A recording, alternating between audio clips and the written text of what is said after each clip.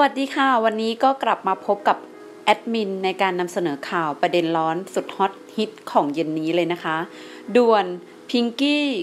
ถูกคุมตัวเข้าเรือนจำคดี ช่อโกง Forex 3D จะเป็นยังไงนั้นไปรับชมกันเลยค่ะ ด่วนศาลอาญาไม่ให้ประกันตัว พิงกี้สาวิกาและคุณแม่ปมคดี แชร์ Forex 3D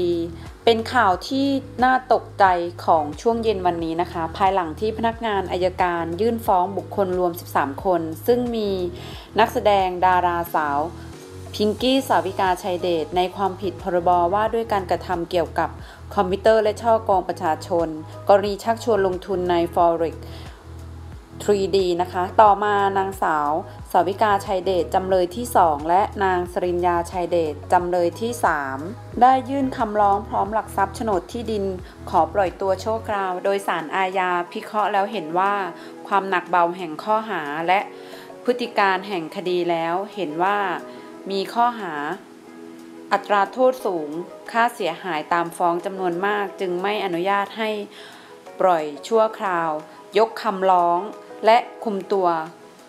เข้าเรือนจำทันที เป็นเหตุให้สาวิกีพิงกี้ ถูกคุมตัวเข้าเรือนจำเย็นนี้ทันที ซึ่งเป็นข่าวด่วนข่าวร้อนของวงการบันเทิงเลยนะคะ ก็แอดมินก็ฝากกดไลค์ กดแชร์ กด Subscribe เพื่อเป็นกำลังใจให้ทางแอดมินของเราเช่นเคยนะคะ